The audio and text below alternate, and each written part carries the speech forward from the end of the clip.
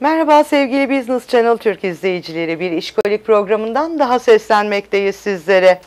Konuğumuz moda tasarımcısı Sayın Zeynep Salmanlı. Hoş geldiniz. Hoş bulduk efendim. Evet öncelikle sizi tanıyabilir miyiz? Ee, Zeynep Salmanlı, 1979 İstanbul doğumluyum. Baba kökenim Iğdır, Azeri kökenliyiz. 41 yaşındayım.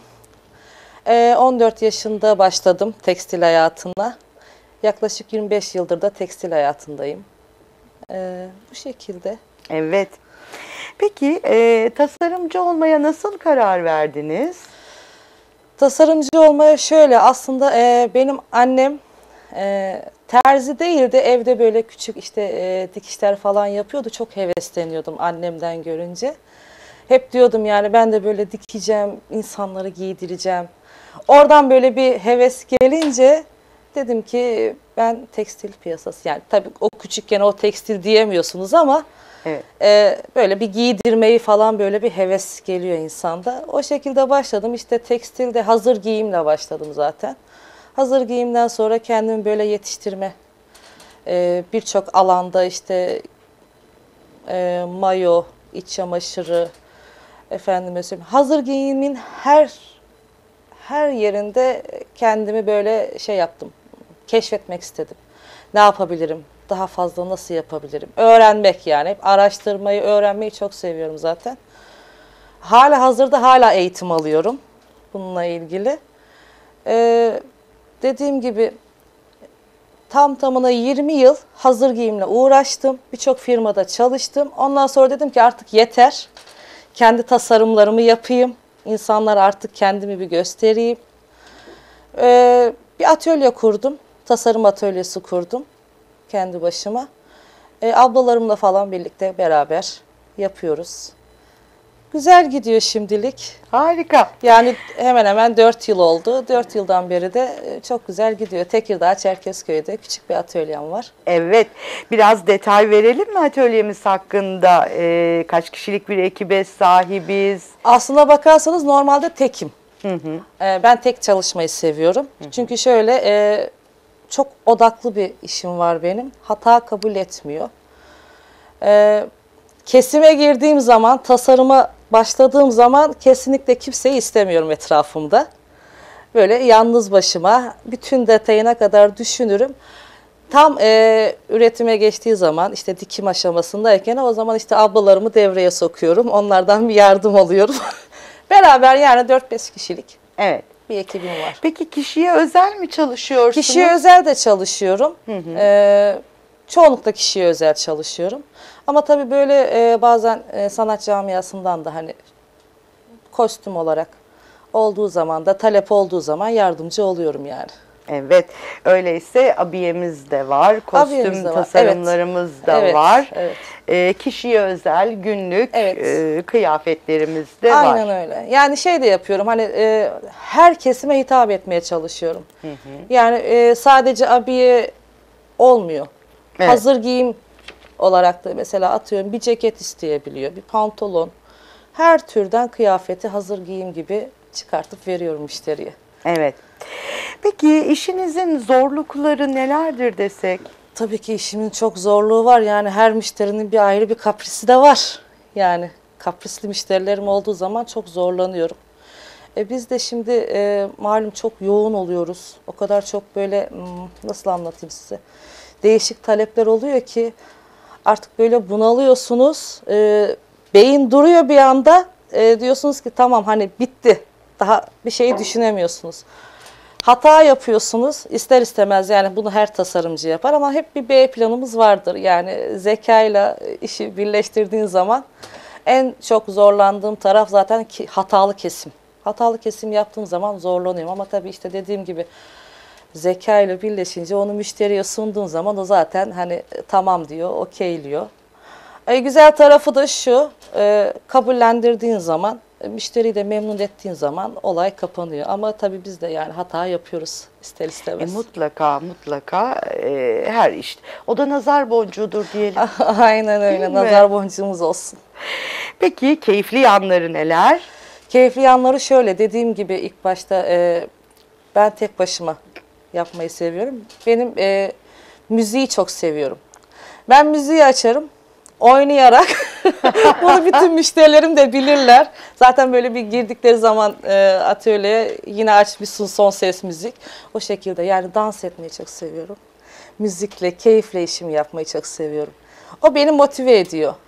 Evet. Keyifli yanını en çok işte öyle yaptığım zaman müşteri de beni böyle motive, enerjik gördüğü zaman diyor ki ya tamam diyor ya harika diyor. Enerjine bayıldım diyor. Yani kıyafeti deneme aşamasında bile biz böyle güleriz. Dans güzel. ederiz yani. O en güzel, en keyif aldığım yer orası zaten. Evet ben de aslında onu soracaktım. Sizi en çok ne motive eder diye işinizi e, yaparken siz cevabını verdiniz Evet. Ve tabii ki mutlak surette müşterilerinizden gelen övgülerdir değil mi? Kesinlikle. Kesinlikle. Evet. Peki sizin en güçlü yönleriniz nelerdir desek? En güçlü yönlerim başarmak. Hı hı. Başarıyı çok seviyorum. Yani hata hatayı kabul etmiyorum hayatımda. Hı hı. Yani bir şeyi kafaya taktıysam o olacak diyorsam olmalı. Kesinlikle. Yani ben kendim kendimi çok eleştiren bir insanım. Ee, bir hata yaptığım zaman da kendi kendimi eleştirmeyi seviyorum. Başkası eleştirdiği zaman hoşuma gitmiyor.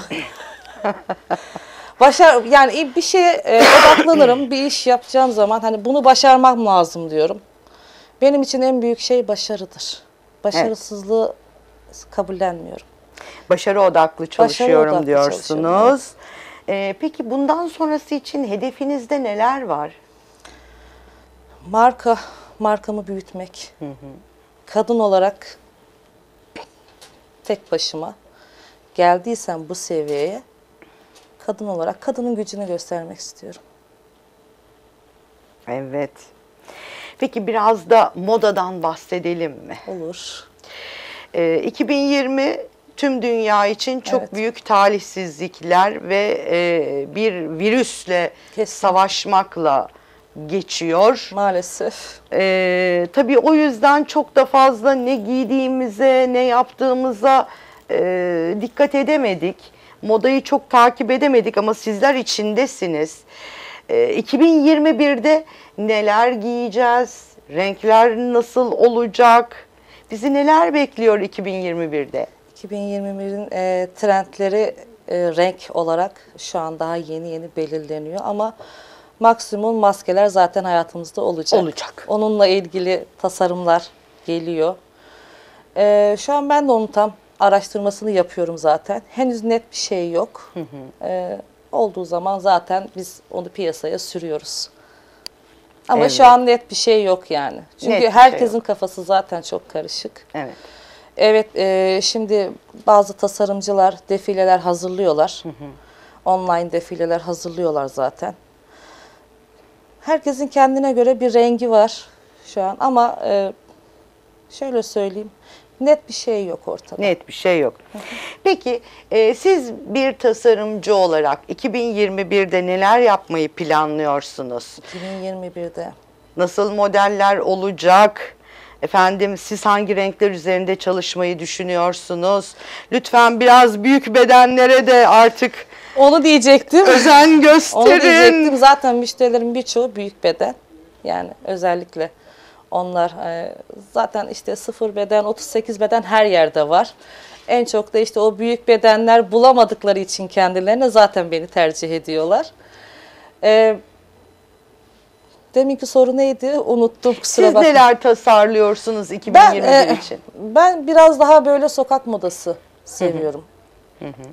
Yani casual takılmayı seviyorum. Kendim öyle sevdiğim için de biraz o yönde gideceğim.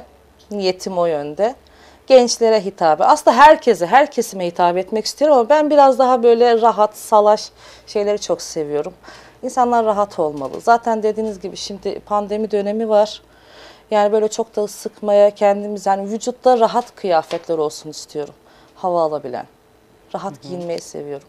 Ben kendi sevdiğim şeyi de insanlara yöneltmeyi seviyorum. Harika. Peki son olarak sizi izleyenlere neler söylemek istersiniz? Beni izleyenlere neler söyleyeyim? Beni aslında izleyen bayanlara şöyle söylemek istiyorum. Ee, işlerini yani benim gibi tasarımcı veya e, çalışan hedeflerinden vazgeçmesinler. Hayallerinden vazgeçmesinler. İşlerini severek yapsınlar. Yani kadının gücünü her yerde göstersinler. Çok teşekkür Rica ediyoruz ederim. katılımınız için ve Ben vermiş de olduğunuz beni davet güzel ettiğiniz için çok teşekkür ederim. Bu nazik davetiniz için. Tekrar hoş geldiniz, sefalar getirdiniz programımıza. Sağ olasın. Evet sevgili İşkolik izleyicileri, moda tasarımcı Sayın Zeynep Salmanlı konuğumuz oldu. Hoşçakalın.